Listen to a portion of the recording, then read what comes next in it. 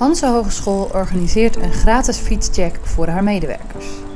Wij hebben een eh, fietscheckactie georganiseerd samen met Revid, de fietsenhandelaar hier op de campus. En wij hebben onze collega's eh, uitgenodigd om hier eh, gratis hun fiets te laten controleren. En de collega's die zich daarvoor hebben aangemeld, die kunnen hun fiets op het afgesproken moment komen brengen. Dan wordt die nagekeken en een paar uur later kunnen ze weer ophalen.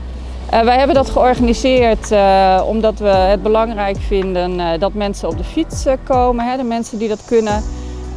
en dat past ook bij de ambitie die we als Campus Groningen hebben en de afspraken die we met Groningen bereikbaar hebben over het gasvrij en bereikbaar houden van deze campus.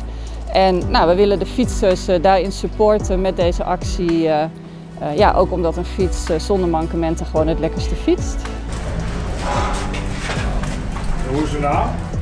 Wij zijn de fietsenmaker gevestigd op het Zernike-complex. Daar repareren we alle soorten fietsen, van studentenfietsen tot e-bikes. Eh, we verkopen nieuwe fietsen, we verkopen gebruikte fietsen. En we zijn onderdeel van Werkpro.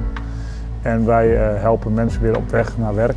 Wij controleren op alle essentiële punten. Dat wil zeggen remmen, versnellingen, verlichting, de banden. En of alles goed vastzit aan de fiets. Nou, het is belangrijk om kosten in de toekomst te voorkomen. Als je dingen uh, vooraf repareert en in de gaten houdt, dan heb je achteraf minder kosten en ook minder slijtage. Deze actie vindt uh, op nog twee momenten plaats. Uh, 7 februari in de binnenstad bij het Wiebega en 14 februari nog een keer in de binnenstad bij het Prins Claus Conservatorium.